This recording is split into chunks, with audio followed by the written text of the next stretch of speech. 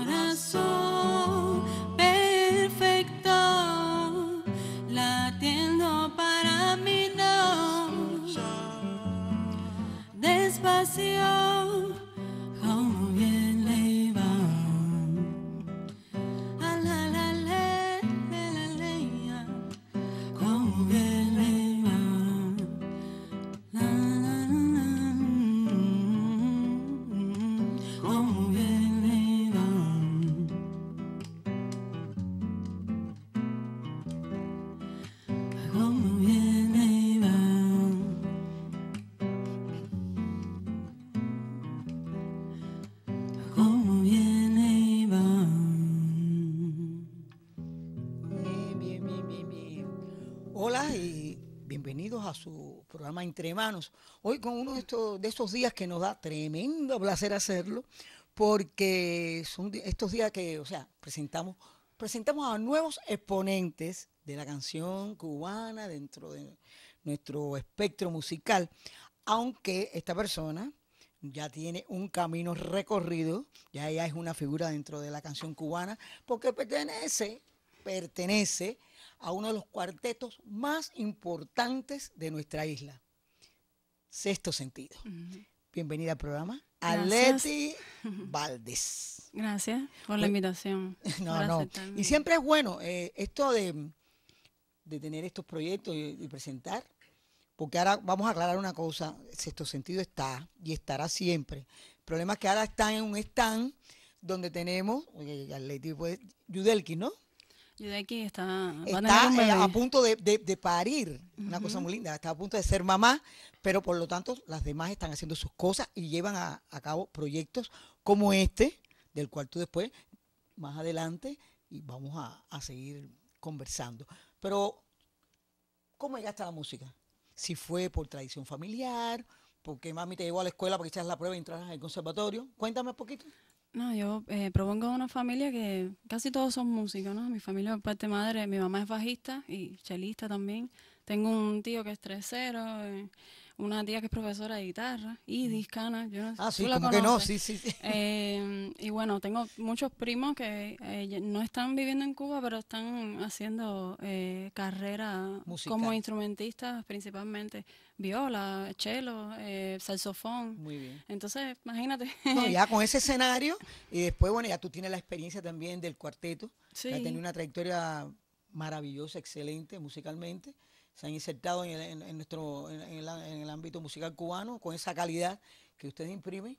Y nada, vamos a seguir conversando, que yo tengo muchas cosas que hablar. Bueno, yo realmente empiezo cantando a los cuatro años en programas infantiles de, de la televisión. Mi mamá me llevó primero al ballet y entonces como estaba un poco gordita en ese momento me dijeron, no, no sirve. Entonces, nada, seguí por la música porque tenía condiciones. Cantaba desde ¿Estudiaste muy violín, no? pequeña. Sí, en Saumel ya con ocho años es que empiezo a estudiar la carrera de violín.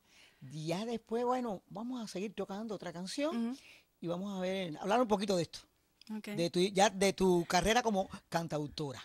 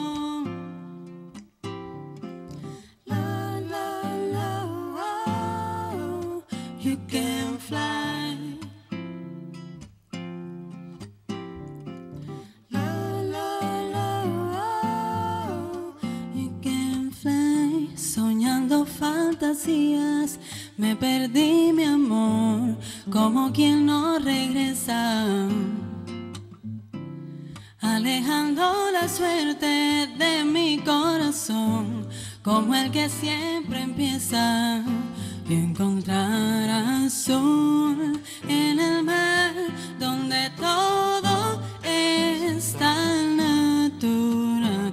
Y esa desnudez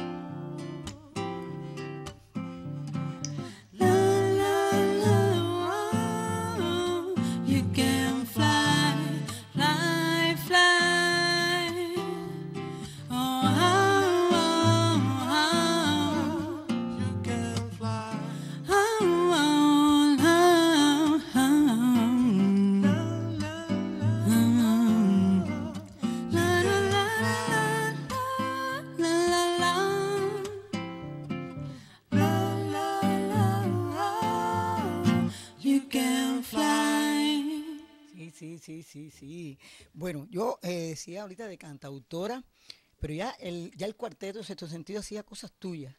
Porque esa canción, Guajiro, yo quiero montarme en tu caballo. Ujú. es tuya. Sí. ¿Y, y hay otras también? Bueno, eh, en realidad nosotras compartimos mucho, ¿no? Eh, durante todo el tiempo que trabajamos, la- las composiciones. Ah, Yo siempre hacía mucha música, muchos arreglos vocales. Y en el caso de Guajiro, el texto y la, y la música es mía y tiene una participación de Melvis Esteves, una de las integrantes, Sí. bueno, de las eh, fundadoras, eh, por un pequeño texto en inglés que hay al final, que también es muy, muy simpático. Entonces, bueno, sí. Pero qué bien. Siempre he tratado de componer, sí, Qué bien, eso es muy importante. Ahora háblame de esto, esta cosa tan bonita que están haciendo, este proyecto con ese muchachón que tienes al lado, ese guitarrista, Bueno, excelente bueno, yo guitarrista. le, le agradezco a Rogelio Montenegro, que es un guitarrista de formación clásica, ¿no? Sí, académica. Eh, sí, porque se graduó de Lisa de, de guitarra clásica y es excelente. canta muy- guitarrista. también muy sí, bien, canta muy lindo rico. y también tiene muy lindas canciones. Así que me imagino que en algún momento también No, no, aquí estamos. cantaré cosas de él y que las suyas. Pero le agradezco que haya aceptado eh, ayudarme hoy aquí para, para estar en el programa. Pero esto es un proyecto Por que... nada, por nada.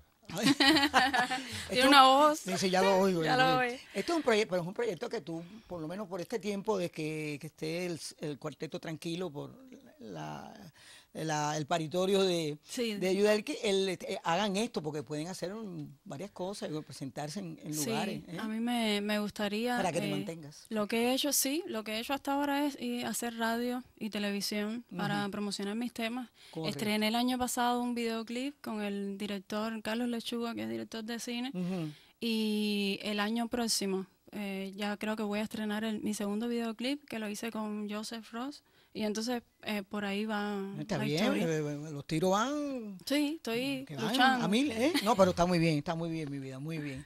¿Y ahora qué nos vas a hacer? A ver. Eh, voy a hacer la canción de mi primer videoclip que se llama Piénsalo bien. Piénsalo muy bien antes de hablar, que la conciencia no se ve, pero te viene a despertar. Fíjate cuando no sueñes en las noches, piénsalo bien. ¿Cómo es que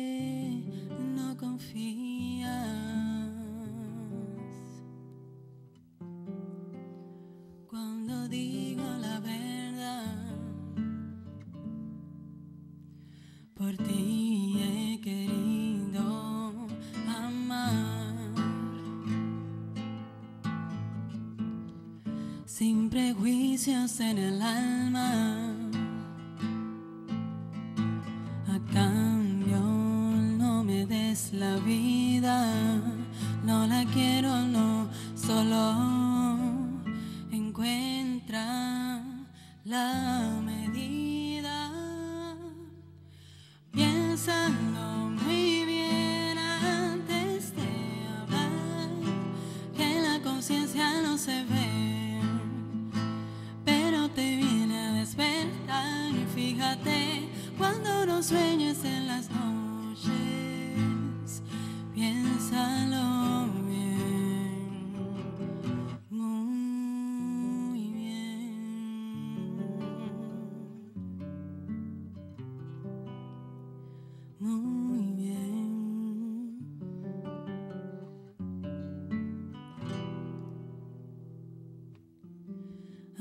Sé que no entiendes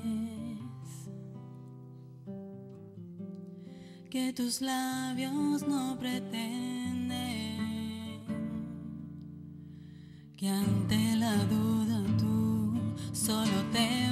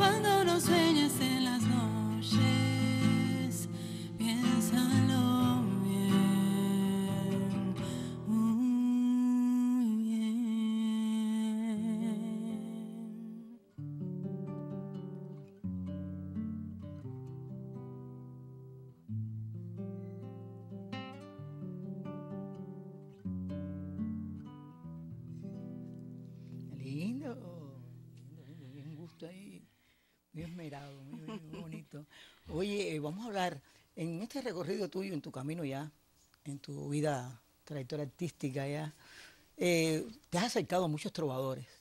¿eh? Eh, por aquí se habla de un DVD, un disco con Liua y David Torrens, Anatomía de La Habana, Anatomía de La también has, ten- has trabajado con Silvio. A ver, Contigo. Ah, conmigo también, claro, sí, conmigo también, eso, muy lindo. Pero explícanos cómo, eso también te impulsó a, hacer- a hacer- a- o sea, a adentrarte ahora en la canción. Sí, yo creo que, que puedo defender bien la canción. Eh, tú sabes que en la canción entra todo. Tú puedes eh, mezclar cha-cha-cha, puedes hacer bolero, puedes Sí hacer un montón de cosas. Entonces, como yo tengo influencias de soul, de, de R&B, de jazz, de la canción cubana, por supuesto, entonces me parece que es eh, el género adecuado. Y bueno, también lo que me une a, a esto, de, a este programa, a los trabajadores, es eso, cantar con una guitarra es como... eh, lo más sencillo, lo- ¿no? Y es la manera en la que mejor yo creo que llega la, la canción. Ya después tú puedes hacerle otras cosas, incorporarles otros instrumentos, que también es mi intención, pero me ha gustado empezar así de manera Esta minimalista. forma así, sí. esta onda muy íntima, muy rica, Es muy rico. que se disfruta cantidad. Se descarga muchísimo. A mí, eh, yo ahí me muero con mi viola. No, Sí, y, sí, y sí, es además lo que tú dices, que he tenido el honor de, de participar en discos de trovadores muy importantes eh, de Cuba y Latinoamérica. Latinoamérica. Entonces, para mí de verdad que ha sido también una escuela, ¿no? No, y que te va a ayudar mucho, porque esa, esa, esas cosas, ese encuentro, eso mismo que ustedes hicieron aquí con Barbería aquella vez que, tu- que estuvieron, eso fue maravilloso, Sí. maravilloso. Y la experiencia del Festival de la Trova en Santiago, que estuvimos Estuvimos, ¿verdad que sí? ahí, pues eso también me, me sensibilizó mucho. Te encauzó. Sí, sí, sí. Muy bien. Hasta un poquito de guitarra estoy aprendiendo. Ah, mira qué bien, ¿por qué no? Sí, ahí Toca re bien. ¿eh? Ahí tienes el maestrazo. Toca re bien. Más o menos, más o menos. Pero qué bien, qué lindo, qué lindo. ¿Qué vas a hacer ahora? Eh, vamos a hacer un bolero. Voy a hacer un bolero bastante difícil de, de cantar para mí porque es muy emotivo. El texto es de Luis Barbería. Ay. Yo lo comencé y, y no lo pude terminar. Le dije, termínalo por mí, que tú eres muy bueno escribiendo. Entonces Lo terminó él. lo terminó él y bueno, así se llama Cara y Cruz.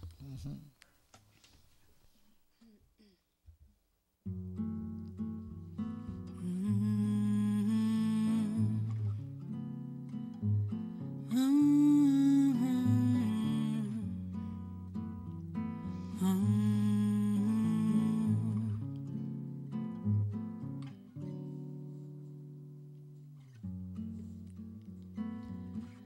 la noche me desvelo, desnudando mi silencio. Y me ves así, amor, desvanecer. Ya no hay luz ni me reflejo con mi imagen de tu espejo y me ves partir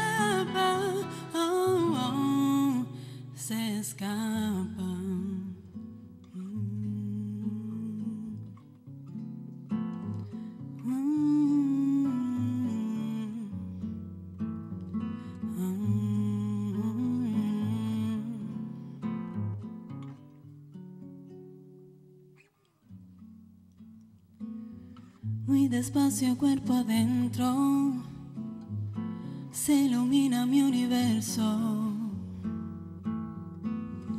Recobrando al fin color y algo de fe, no hay rastro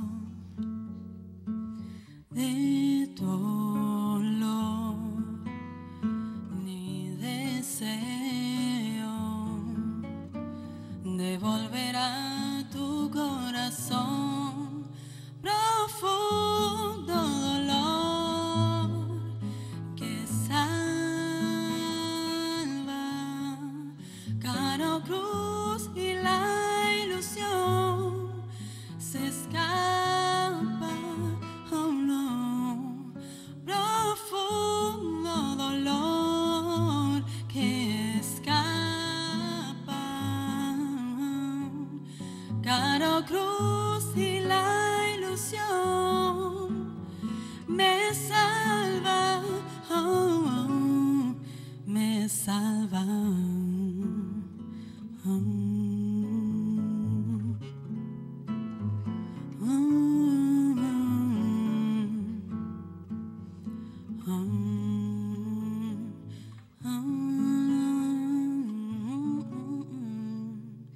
Me salva.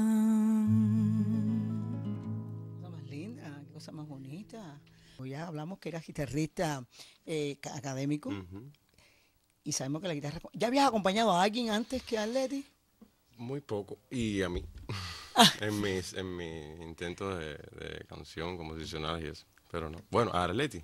Bueno, sí, hemos ensayado, claro, fines, canciones y eso. Em, No Pero sé nunca cómo habías papel acompañado así. aquí, pero bueno, guitarrista acompañante, eso es Sí, algo sí. que yo respeto mucho. No, eh, a mucho, eso iba. Yo respeto también Porque, muchísimo. Eso, eso son favor, palabras mayores. Eso es algo Palabras fuerte. mayores. Entonces, de Yo- hecho, no, porque lo hacen muy lindo, muy fresco, muy, muy seguro.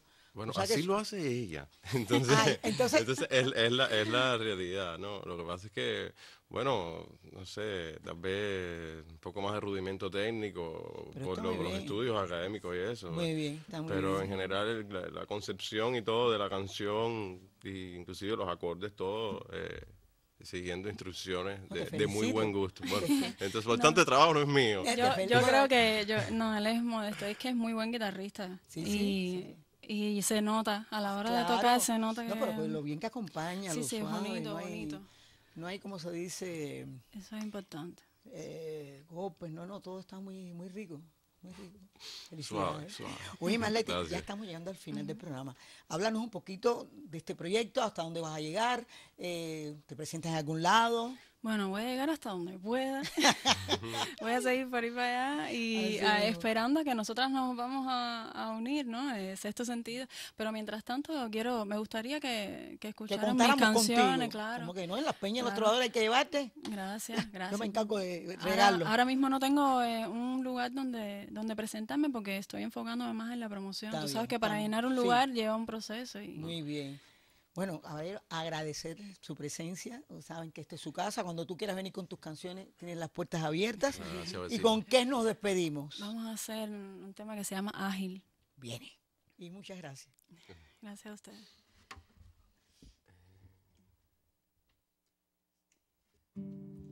Aquel día, cual profecía debiste pasar. Aquel momento un poco incierto que no vi llegar y me besaste, me cautivaste en ese ágil movimiento y amanecimos contando estrellas con el pensamiento.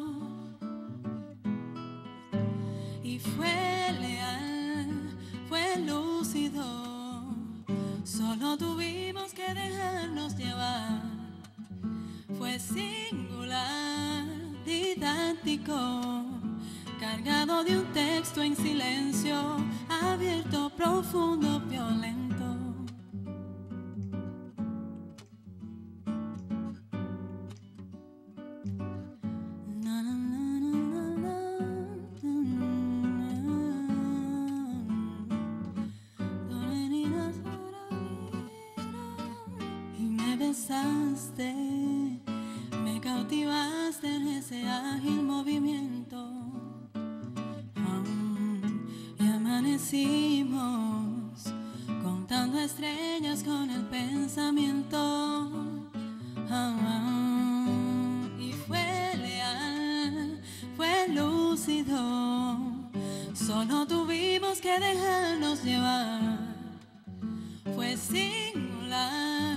Didáctico, cargado de un texto en silencio. Y fue leal, fue lúcido. Solo tuvimos que dejarnos llevar. Fue singular, didáctico, cargado de un texto en silencio, abierto, profundo, violento,